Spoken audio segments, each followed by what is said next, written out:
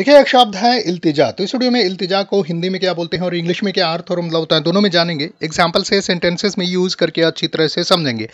तो चलिए, वीडियो को स्टार्ट करते हैं और समझते हैं। सबसे पहले हिंदी में समझते हैं इल्तिजा को। देखिए, इल्तिजा का मतलब होता है अनुरोध या अर्जी, आवेदन, अपील, अभियाचन, आग्रह, किसी से कुछ करने के लिए नम्रता पूर्वक किया जाने वाला निवेदन को हम इल्तजा बोलते हैं। इंग्लिश में इल्तजा को बोलते हैं रिक्वेस्ट या रिक्वेजिशन अपील या application plea solicitation supplication petition and etc मतलब और भी इंग्लिश में इसके शब्द हो सकते हैं, इल्तिजा के। एग्ज़ाम्पल से सेंटेंसेस में समझते हैं। जैसे बोलेंगे, आम बोलचाल में तो इस तरह से शब्द को प्रयोग करेंगे हम लोग कि यह इल्तजा है मेरी तुमसे।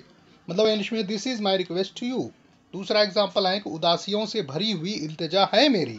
मतलब इंग्लिश में my request is full of sadness तो सैडनेस का मतलब उदासी। ठीक है तो मैंने आपने इल्तजा शब्द को हिंदी इंग्लिश में एग्ज़ाम्पल के साथ में अच्छी तरह से समझ लिया है। Thanks for watching educare desk